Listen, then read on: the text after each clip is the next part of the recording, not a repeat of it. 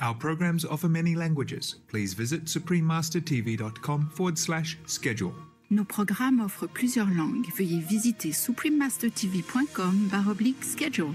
Nuestros programas ofrecen varios idiomas. Visiten suprememastertv.com barra inclinada schedule. Nossos programas oferecem vários idiomas. Acesse suprememastertv.com barra schedule. हमारे कार्यक्रम पेश किए जाते कई भाषाओं में कृपया देखें Supreme Master TV dot com forward slash schedule 我们的节目提供多种语言，请看 Supreme Master TV 点 com 斜线 schedule。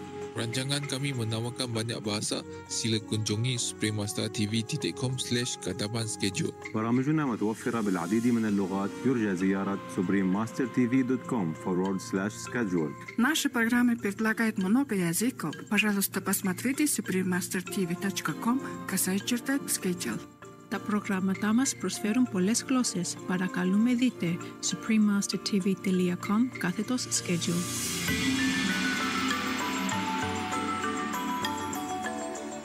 Cái phật tánh của mình vô cùng sáng suốt.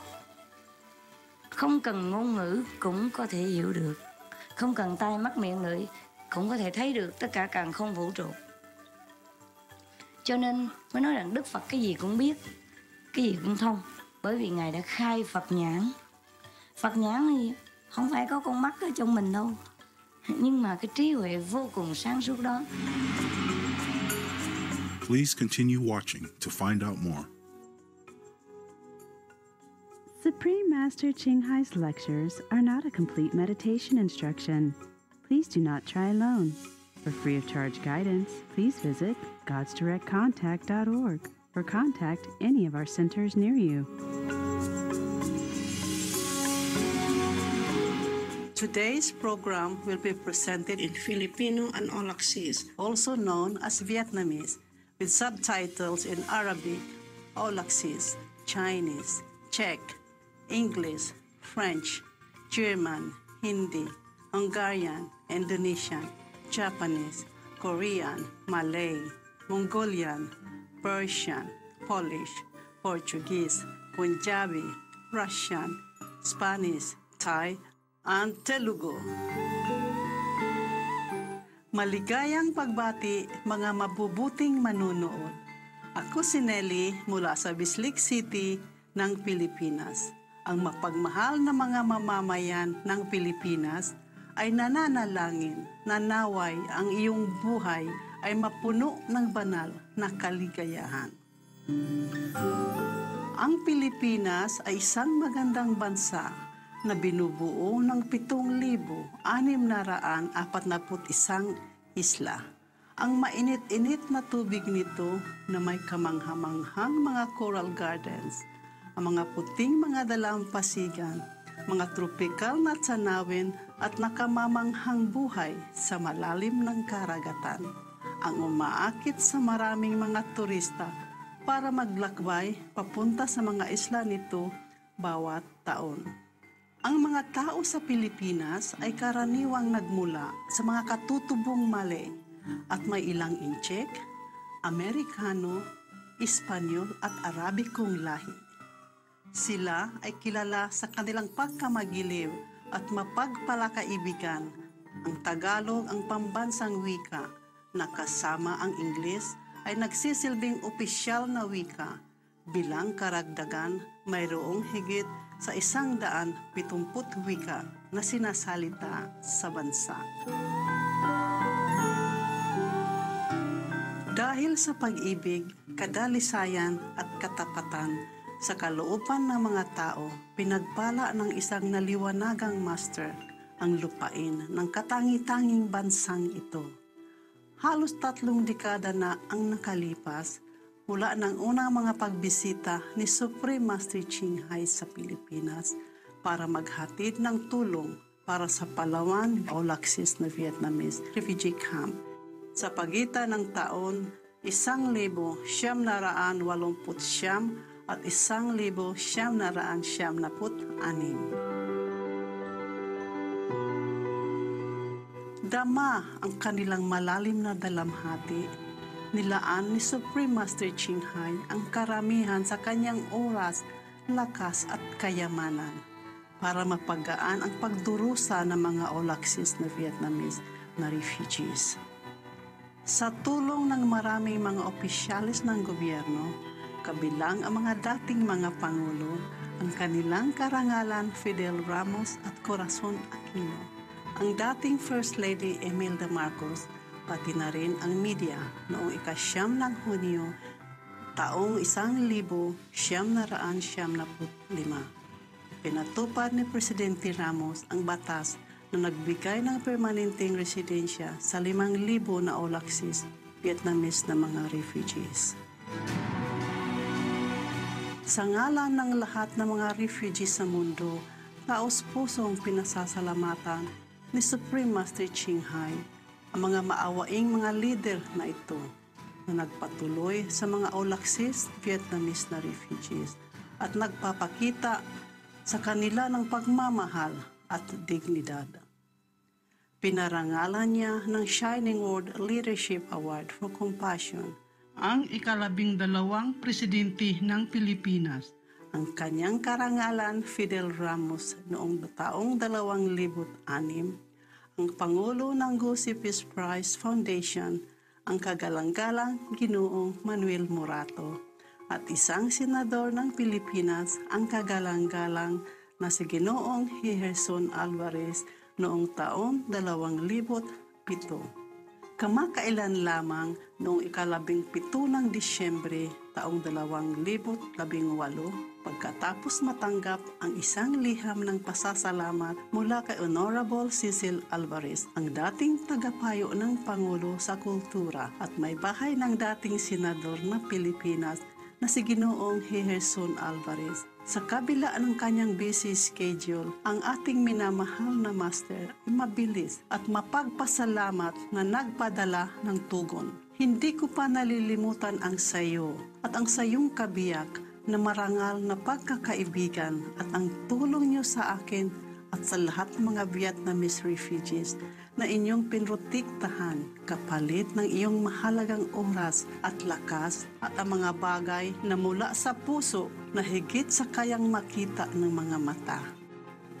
Naway, pagpalain ka ng Diyos at ang iyong mapagmahal na kabiyak ng mahabang buhay, kalusugan at kaligayahan. Bukod pa rito, nagsumabog ang Mount Pinatubo noong taong isang libo siyam na raan siyam na put isa, bumalik si Supreme Master Ching Hai kasama ang mga miyembro ng asosasyon upang tumulong sa mga pagsisikap sa pagbibigay ng relief. Pagkatapos, noong taong isang libo siyam na raan siyam na put dalawa, nagbigay siya ng flood relief assistance kasunod ng mga landslides sa Pinatubo. Ang kanyang agaran ay walang pasubaling tulong sa mga panahon ng natural na kalamidad ay naaalala ng maraming mamamayang Pilipino. Si Supreme Master Ching Hai ay taus-pusong nagpapasalamat sa minamahal na Diyos para sa lahat ng pinansyal na tulong, pagdamay at suporta sa mga naghihirap at nangangailangan. At o sa anumang mabuting mga layunin sa mga nakalipas na taon bilang isang mapagpakumbabang sisidlan para sa kanyang awa at pag-ibig para sa kanyang pinakamamahal na mga anak. Nais ni Supreme Master Ching Hai ipaabot itong mensahe ng pasasalamat sa lahat ng gobyerno, organisasyon at relief workers sa bawat sulok ng mundo.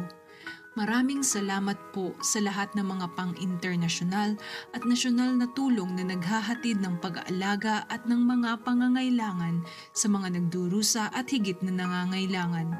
Salamat sa lahat ng mga relief workers sa pagbibigay ng inyong oras at pagsasakripisyo ng sarili ninyong kaginhawaan, maging sa inyong paglalakbay ng malayo sa hindi ka nais-nais na mga daan at kondisyon para maghatid ng pag-ibig at tulong sa mga tao sa oras ng pangangailangan. Naway pagpalain kayo ng langit ng masagana sa inyong kabutihan at marangal na sakripisyo. Noong Nobyembre 22, taong 2006, si Supreme Master Ching Hai ay pinarangalan ng prestihiyosong Gusi Peace Prize para sa pagkakawang gawa at pagkamakatao. Katulad ng Nobel Peace Prize, pinararangalan ng Gusi Peace Prize ang mga natatanging mga tao at organisasyon na gumawa ng mga pambihirang contribution sa kapayapaan sa mundo. Ang seremonya ng award ay naganap sa Manila, Pilipinas, kung saan si Supreme Master Ching Hai kasama ang labing apat na iba pang mga manunulat ay formal na kinilala. Sa kanyang talumpati ng pagtanggap sa idinaos na seremonya ng Gusi Peace Prize, kanyang marapat na inilarawan ang kadakilaan ng mga islang ito at ng kanyang mga mamamayan. Land of the sun returning, land of love. That is the Philippines.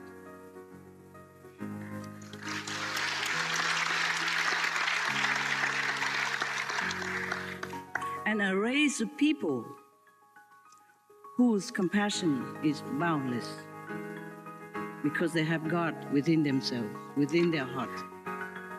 There's never enough eloquence to praise the peace loving people of this country for their exalted nature. But the whole world will always bear witness to their monumental kind deeds, and heavens are forever moved by their exceptional charity.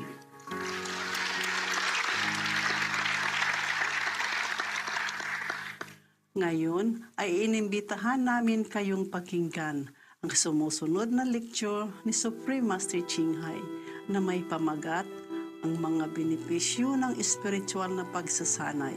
Ikatatlong bahagi ng lima sa Palawan Refugee Camp sa Pilipinas noong ikapito ng Abril taong isang libo siyam na raan siyam na isa.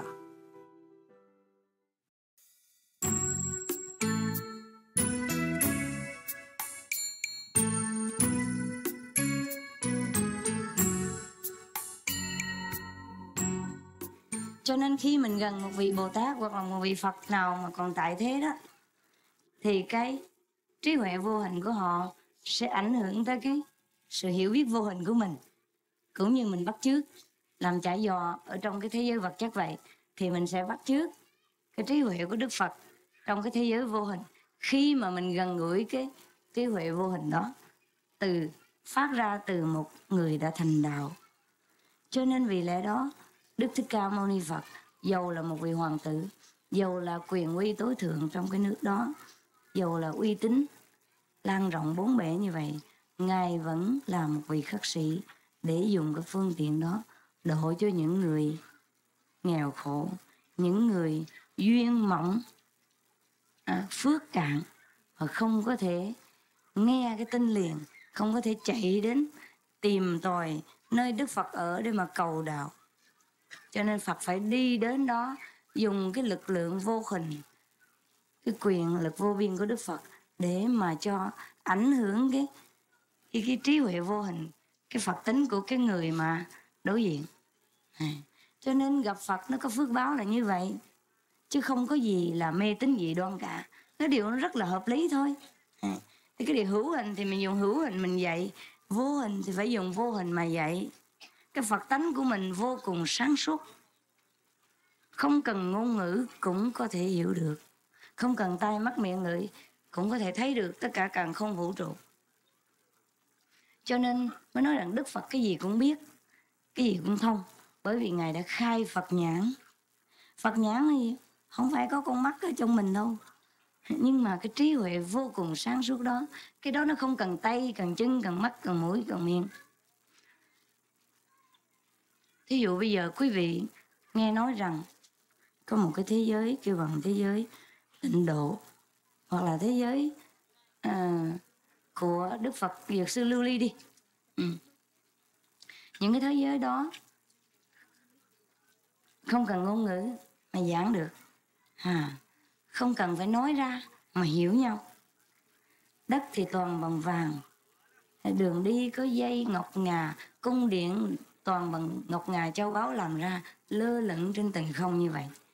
Mình nghĩ nó hơi khó vô lý quá. À, ở dưới đây mình xây nhà mình phải xây dưới đất cứ có móng rồi nó mới vững vàng. Còn ở trên kia cung điện mà lơ lửng ở trên không vậy nó đổ rớt xuống làm sao? Nhưng không có chi vô lý cả. Mỗi cái thế giới nó có một cái trọng lực riêng ha. Nó có một cái sức hút riêng. Thì bây giờ đại khái sư phụ nói thôi quý vị đừng nên hoài hoài nghi những cái cái cái lời của đức phật nói.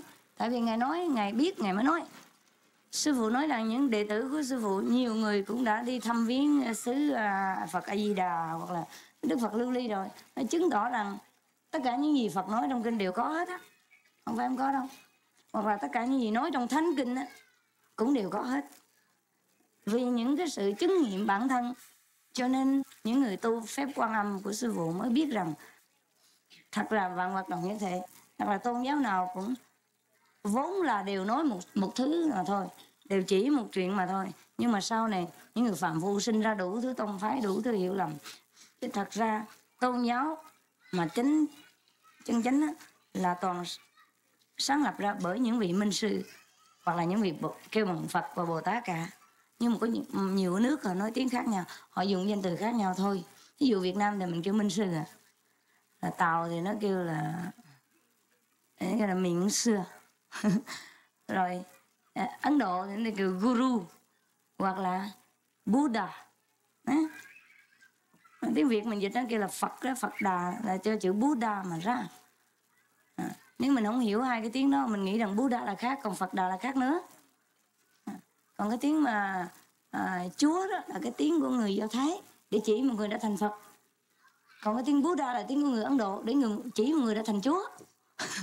Rồi trong cái dịch đó nó, nó, nó sinh tùm lum như vậy thôi không có gì. Ừ. thì bây giờ khi mà mình tu hành rồi mình mới càng tin tưởng những lời của Phật và của Chúa nói. Để mình mình chứng minh tự bản thân mình mình biết.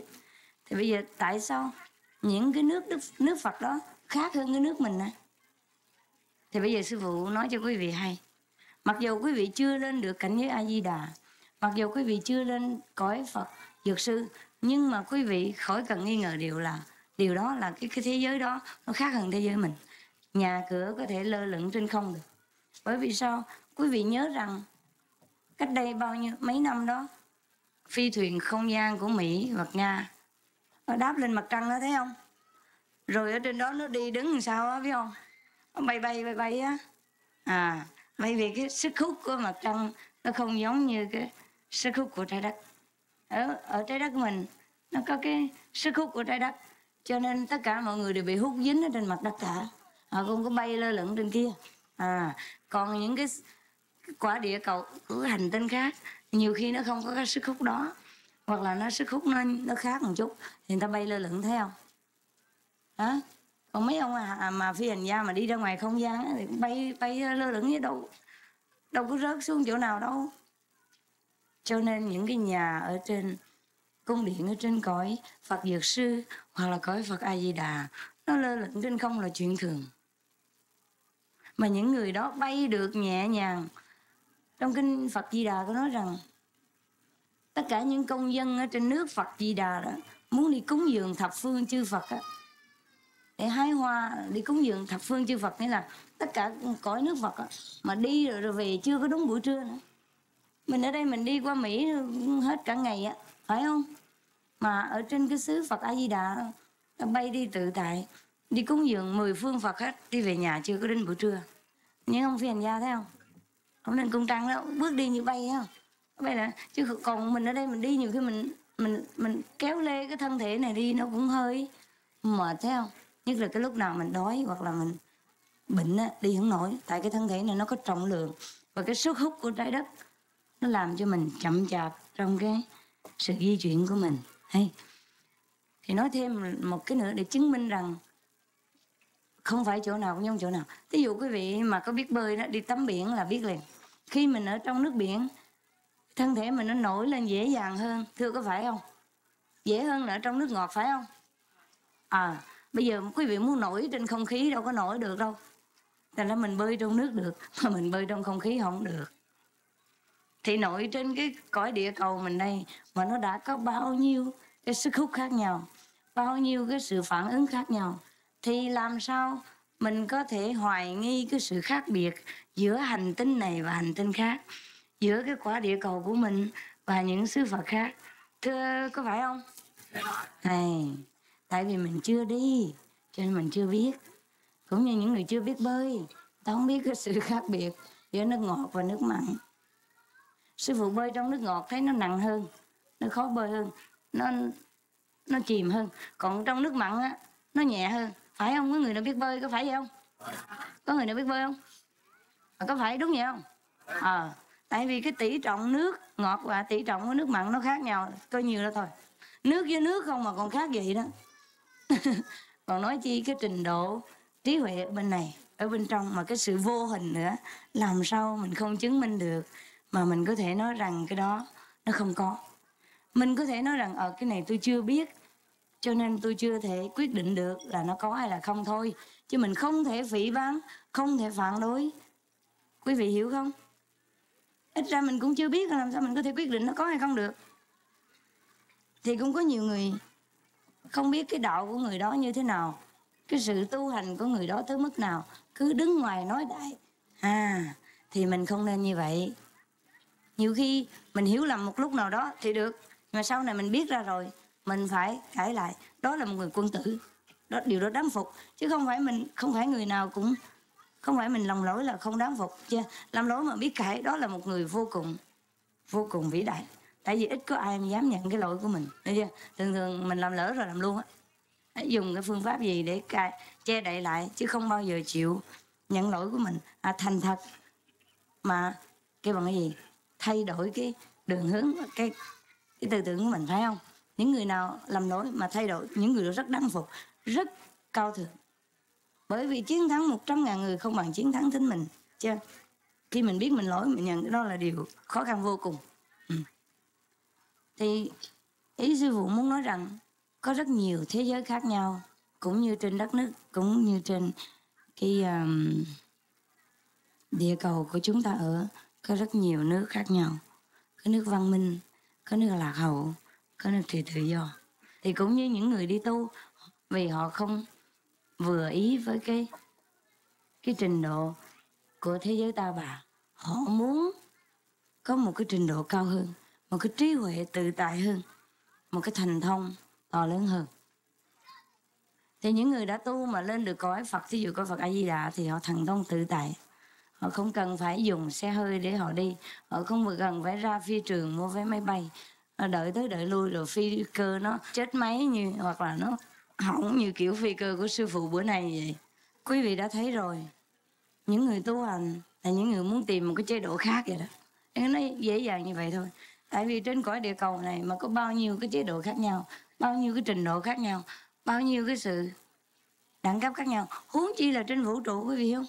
Nó có rất nhiều rất nhiều cái, cái cái sự khác biệt lắm về tinh thần về tư tưởng về thành thông những người tu hành á, là những người cái trình độ họ khác lắm. Mà mình nói chuyện với họ lâu rồi mình mới biết nó khác. Nhưng có nhiều khi mới nói một hai câu mình biết khác liền. Tại sao? Là mình đã có trí huệ rồi.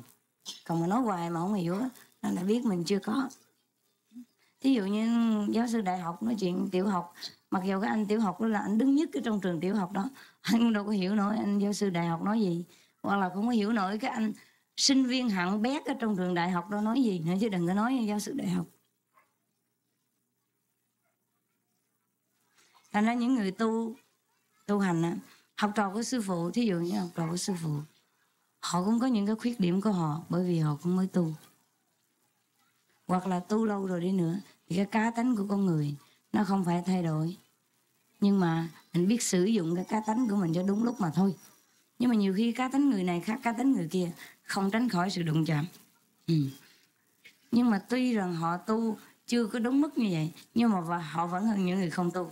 Ít ra họ ăn chay trường, họ ngồi thiền, họ giữ giới. Họ có những cái sự hiểu biết mà những người không tu không thể hiểu biết được. Mặc dù cái sự hiểu biết nó nó chưa tròn vẹn, nhưng mà vẫn hơn những người không tu. Nếu quý vị muốn mà ở hoài ở trong cái cõi ta bà này đi tới đi lui. À, thử thử coi kiếp sau có phải làm nhân tị nạn hay không á. Thì quý vị cứ tự do. À muốn làm gì cũng được. Nhưng mà nếu quý vị muốn có kiếp sau nó có một đời sống thư thái hơn. Dầu là làm người thôi nha không nói làm phật. Thì ráng giữ gìn năm giới.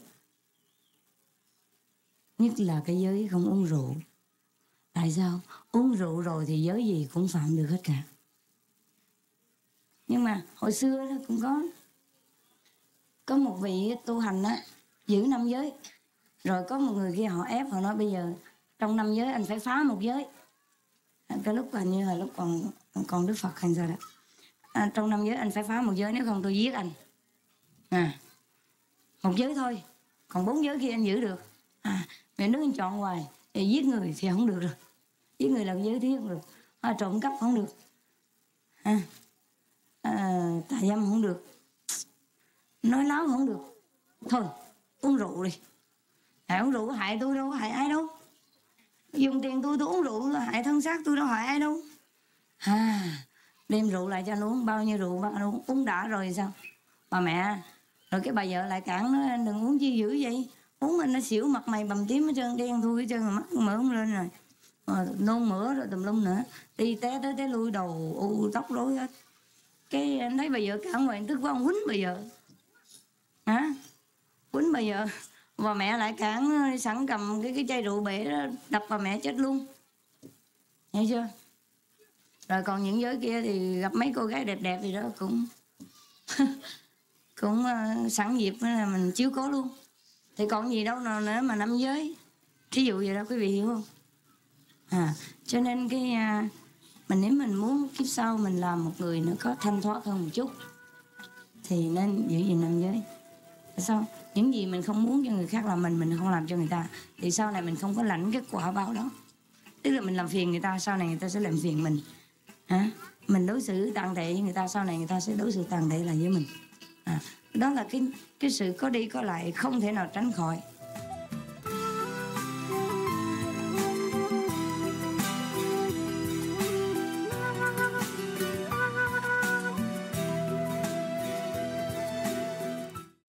Salamat sa inyong panunood ng programa sa araw na ito na may pamagat ang mga benepisyo ng espiritual na pagsasanay. Ikatatlong bahagi ng lima sa Words of Wisdom dito sa Supreme Master Television. Mangyaring samahan niyo muli kami bukas para sa ikaapat na bahagi ng lecture. Susunod, seremonya ng pagpaparangal ng pandaigdigang espiritual na pamumuno at ang ika-dalawamput dalawa ng Pebrero na Supreme Master Ching Hai Day unang bahagi ng anim. Pagkatapos ng noteworthy news, naway ang liwanag ng banal na grasya ay magningning mula sa inyong kalooban. Thank you for joining us for today's program entitled The Benefit of Spiritual Practice, Part 3 of 5, on Words of Wisdom here on Supreme Master Television. Please join us again tomorrow for Part 4 of the lecture. Coming up next is World Spiritual Leadership Award Ceremony on the February 22nd Supreme Master Ching Hai Day, Part 1 of 6. right after noteworthy news. May the light of the divine grace shine brightly within you. Our programs offer many languages. Please visit suprememastertv.com forward slash schedule and suprememastertv.com forward slash WOW.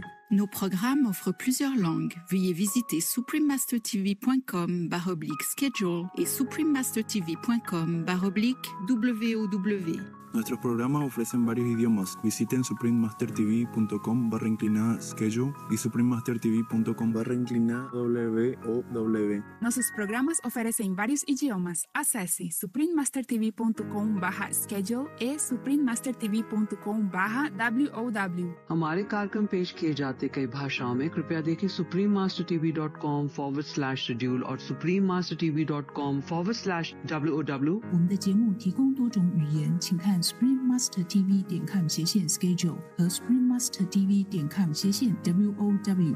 Rancangan kami menawarkan banyak bahasa. Sila kunjungi suprememastertv.com slash gadapan schedule www.suprememastertv.com/kazaban برامجنا متوفرة بالعديد من اللغات يرجى زيارة suprememastertv.com forward slash schedule و suprememastertv.com forward slash wow. Наши программы предлагают много языков. Пожалуйста, посмотрите suprememastertv.com казайчерта schedule и suprememastertv.com казайчерта wow. Τα προγράμματά μας προσφέρουν πολλές γλώσσες. Παρακαλούμε δείτε suprememastertv.com κάθετος schedule και suprememastertv.com κάθετος WOW.